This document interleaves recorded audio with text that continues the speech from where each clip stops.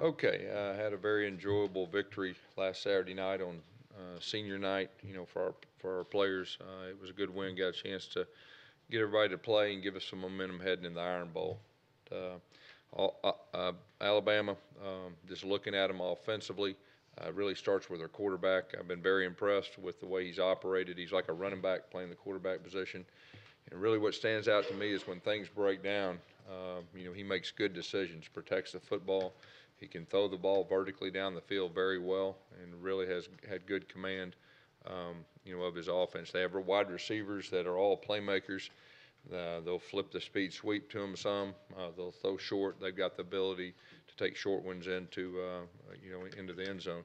Defensively, really what stands out to me, uh, this may be the best pass rushing uh, unit um, since I've been playing Alabama. They really do a good job of, of uh, especially when they know it's pass situations of harassing the quarterbacks. You know, it's been very impressive to see the amount of touchdowns that their defense has created, mostly off their pass rush. Um, it's been very impressive to watch.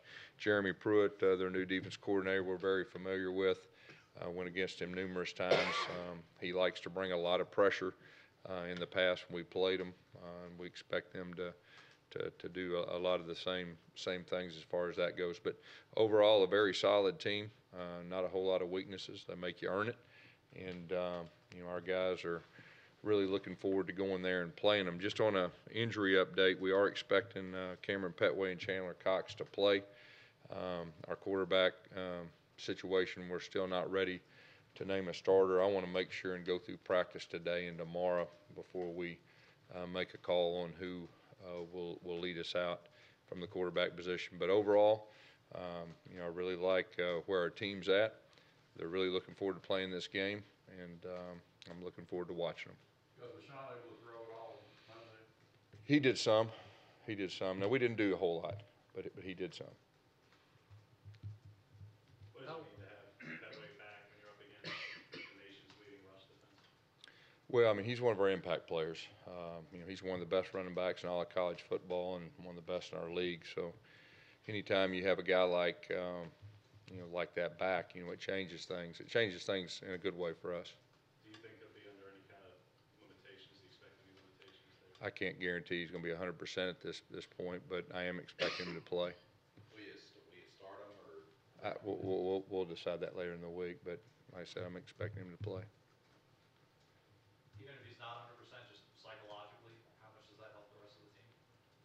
You know, um, like I said he's one of our leaders, so the fact to have him out there, it definitely helps. And um, you know, certain people's maybe not 100% is better than others 100%, and we're hoping that'll uh, that'll be the case. If it's not Sean, would you go ahead and start Jeremy or is, or is John? We're, we're not ready to make that call yet. Um, we'll see how they do today in practice, all of them, um, and probably see how they do tomorrow too, and then uh, make a decision. Is that a decision that lies in the hands of the doctors and training staff, Gus, or is that something you just trying to make a football? Y- Well, you know, I I think first of all, you got to make sure somebody's healthy enough to go out there and protect themselves. That's the first thing. Uh, Then if you answer that question uh, as yes, then you go to what guy gives your team the best chance of, of winning and being successful. And so that's what we'll be looking at, you know, the next couple days. Stanton Truitt, uh, how's he doing? Yeah, I, I'm not ready to say for sure that uh, he'll um, he'll be back, but uh, he was out there yesterday, and he'll be out there again today. So we'll uh, probably know more about him later in the week too. What about Josh Olsey? Uh, we expect him to play. Darrell Reeves okay too? Yes. Gus, just being able to, to get, you know, guys like Trey Williams some rest and Montavis Atkinson and, and how, how much healthier do you feel like the defense is now than, than it was even a couple of Yeah, years ago? Yeah, you know, I think overall our defense is uh, in pretty good shape health-wise.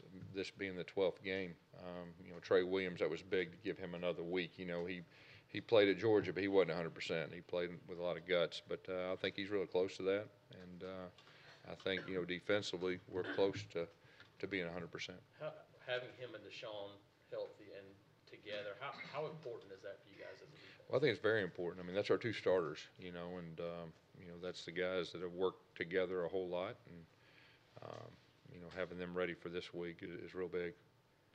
Gerald Williams looks like he's really come on this season before we talk about him. He's really played well. He's getting more confidence. Um, you know, he's flying to the football. He's been tackling well, and uh, he's one of those young guys that's that's really grown up this year and uh, starting to turn into the player that we really expect him to be. And uh, you know, I think he's got potential to even get better. You think his ability to play in space is one of his best assets? He's pretty athletic, you know, and, and the young guys, it takes just a little bit, you know, to get used to the different playing in the box, playing outside the box. But I think the transition's been very good for him. Did Kam Martin prove something on Saturday that's gonna kind of make him factor more going forward? Yeah, that, that had to help him. Um to get that many carries uh, in a game and, and be that successful, it, it definitely helped him. You know, he did play earlier in uh, the year sparingly at time to time, but uh, he's getting more confidence, and I know the coaching staff's uh, confident in him. So, um, you know, and he can run. I mean, he's got some missability, some playmaking ability. Uh, he's going to be a fine football player for us. Yes, they've usually been very strong against the run. Pruitt's done very well against you guys against the run game. What makes this year kind of unique for them in that not only are they leading the country, but how are they doing that compared to other years? Well, you know, really, if you go back, I mean, they're always going to be one of the best, if not the best, you know, um, against the run in the country. Their defensive front, their front seven's always uh, near the top. Um, like I said, the biggest thing I think this year for me is just their ability to, to rush the passer. Uh, their two defensive ends are both dynamic.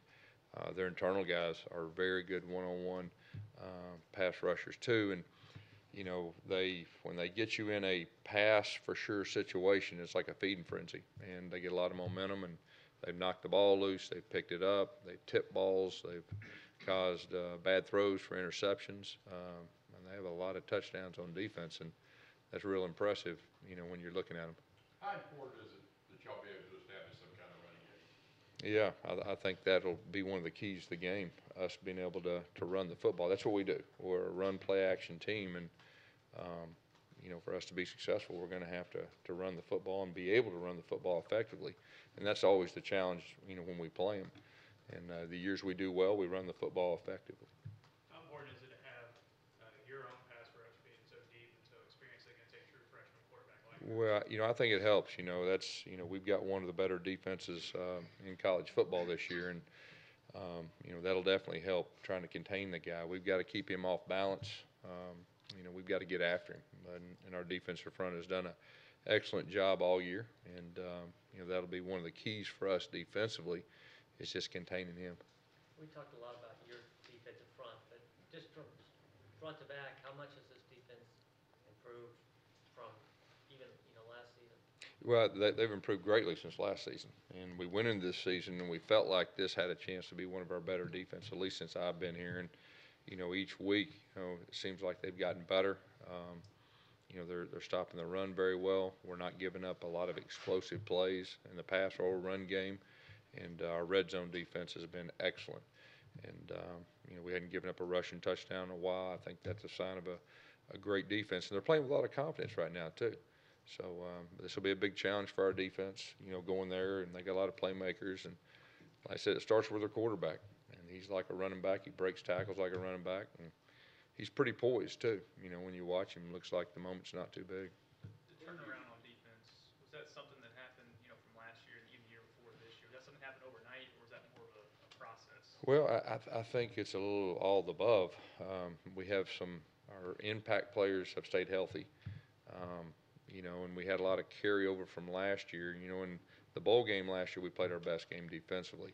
So we had a lot, lot of momentum. Uh, Coach Steele and his staff um has really done a good job with our guys. Um, and then we've got some guys that are, that kind of took that next step, you know, of, of playing and um, playing very aggressive, and um, they're having fun playing defense. Gus, how do you prepare young guys, particularly like, like, uh, the, the freshman defensive linemen and guys like that for, for what they're gonna face, just in the whole atmosphere? and- Yeah. You know, the unique thing about this rivalry is if it's an in-state guy, they kind of already have a good idea of uh, kind of what makes up this rivalry. Um, it's sometimes the young out-of-state guys that takes them a little bit to get used to everything, but we've got a lot of local guys, you know, playing, and uh, we've got some freshmen from the state of Alabama, and so I think that'll help us. Not, not many teams have been able to win at Bryant Denny Stadium the last several